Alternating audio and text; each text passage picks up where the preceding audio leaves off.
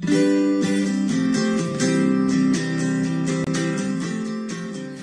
fellow doll lovers, it's Janie. Welcome back to my channel. This video is going to be a chit chat video. Um, I figure since I'm going to be going to thrift stores while I'm up here in Wisconsin, I should talk a little bit about the ones that they have up here. So first I'm going to start off with Goodwill. And the first thing that you should know about Wisconsin Goodwills is that they are a lot better than Texas Goodwills as far as carrying toys. A lot of the times when you go to Goodwills in Texas, they ha maybe have like some messed up Barbies when it's your lucky day, like haircut, ink on their faces. Most of the time, then they have baby toys. Like most of the like rest of the time, you find like baby toys or like stuffed animals. You don't normally find actual dolls at Goodwills. The thrift stores in Texas are great. You you know, I've found many great things in the thrift stores in Texas. But the Goodwills in Wisconsin are great. So, one of the prime examples of that is I found a 17 inch um, singing Disney Merida doll in the box, box in perfect condition for $10. That was the best thing I found at a Goodwill, but as you've seen in like some of my other videos that are to come, I uh, will give you a sneak peek. I found some I found a holiday Barbie and some other stuff. But anyway, that's besides the point. Goodwills here are a lot better. Also, I want to talk about my most favorite thrift store while I'm up here, which is called USA Family Thrift. They are awesome. So there's a little bit of a backstory behind this. Um, there's a couple that owns it, a man and his wife, and his wife loves Barbies. Um, I don't remember the story perfectly, so if they see this, if there's something that contradicts the true story, please correct me. I'm sorry. But anyway, they had Barbies all over their walls. They had them hanging from the ceiling, they had them on posts, they had them everywhere. And for the wife's 50th birthday, because they got so many dolls, they called the newspaper out to take pictures and stuff because it had so many dolls.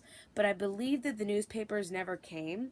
And after a while, they took the dolls off the off some of them off the walls and they started selling them.